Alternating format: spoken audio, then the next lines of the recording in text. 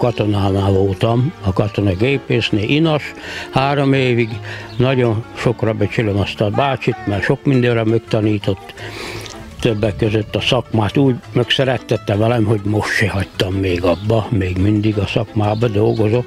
Nem hivatalosan, de otthon, itt van a vacak, ezt is azért csináltam, mert ráértem, meg sok minden mást.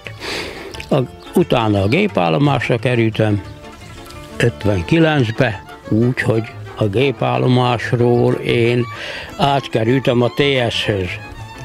Népgazdasági érdekből áthelyezve. Ez annyit jelentett, hogy nem szakadt meg a munkaviszony. És akkor a TS-ből mentem el nyugdíjba 89-be.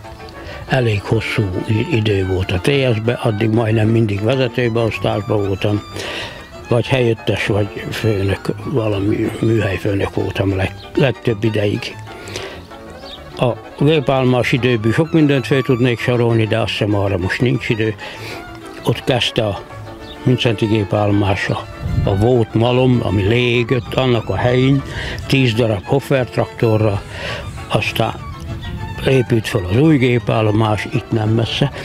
Azután szaporodtak a gépek, aztán mindig több-több egész nagy gép, birodalom lett a gépállomásból. G35-ös, GS35-ös, aztán MTZ 45-ös, Zetor K25-ös, 54-es DT, 413-as, MA magyar gyártmány volt, S80-as, S100-as, eljutottunk a K700-asig, az már TS-be volt. Akkor legnagyobb traktor volt, most már talán a nyugatiak nagyobbat is csinálnak, de körülbelül az volt a legnagyobb, ami, ami az én kezem alá tartozott. Úgy tudom, ehhez a géphez egy kellemetlen emléke fűződik, kérem meséljen erről néhány szót. Hát ez egy, egy előkerekes szecskavágó, ezt gép hajtotta, ide volt egy szítás a főszerelve a hajtókar helyett, és egy kis benzinmotor hajtotta. És hogy ne tartson a, a, a szecskázás, a munka sokáig, nem állunk meg délbe se, de a gépet meg kell kenni. És én üzem közben próbáltam megkenni ebbe az olajzóba olajat önteni, így az ujjammal főhúztam, ez meg forgott, és pont elvitte a kezem. Úgyhogy a szüreti bál helyett kórházott a vége mert azért kellett volna, hogy születi bálba estig ne tartson a munka. Boza úr, kérem mutassa be a gépnek a működését, hogy hogyan aratja le a gabonát. Hát ezt el, egyszer, egyszerűen megmagyarázni nehéz, mert bonyolult a gép is, a folyamat is, de tulajdonképpen az a kerék, az a fehér fogazott kerék, az hajtja az egész szerkezetet. A lovak húzzák, a talajkerék pedig működésbe hozza a kaszát, a motorlát, és marokrakó aratógép tulajdonképpen nem köti be, csak kis kévékbe lerakja.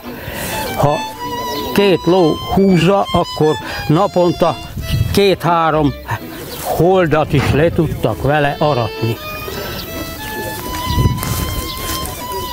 Az én nagymamám, vagy a mi nagymamánk 1912-ben vett egy ilyen gépet, és a család azzal dolgozott azon a 31 nány hold akkor még nem hektár volt, hold földön. Ne! Ne!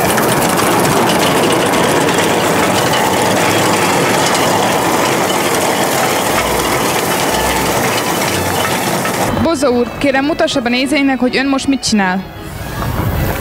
Én most azt, amit a marokszedő kirakott, kötöm be a saját anyagába, saját szalmájába. Összeteszem megcsavarod kötélnek, így, és akkor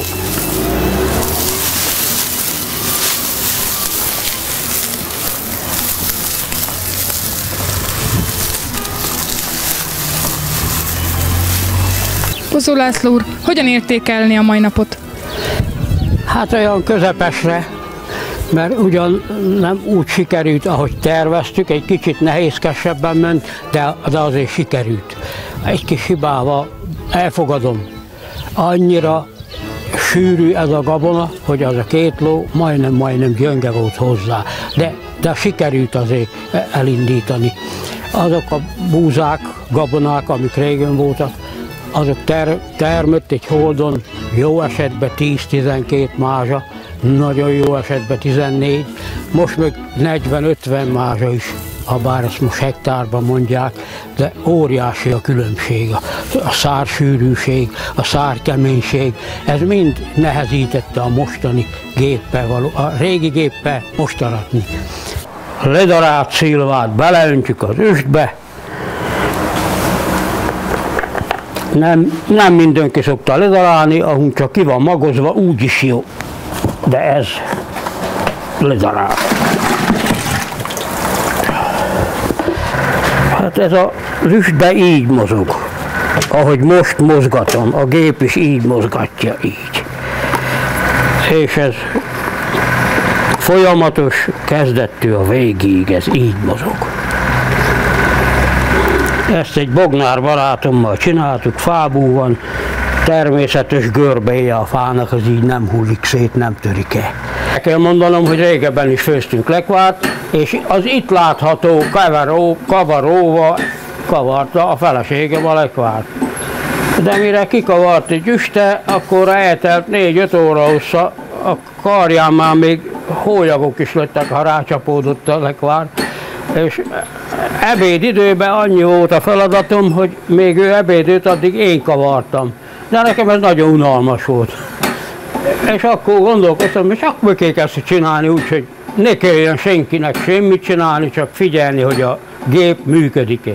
Azért kell a környezetibe lenni valahol itt körülötte, olvasni, vagy csinálni valamit, hogyha netán áramszünet van, akkor gázt el kell zárni. Ez bele lett rakva a forrón, rá a kupak, és fejreállítva, így áll akár évekig, és semmi baja nem lesz. Ebben nincs semmi, se cukor, se egyéb ízesítő, csak maga a szilva.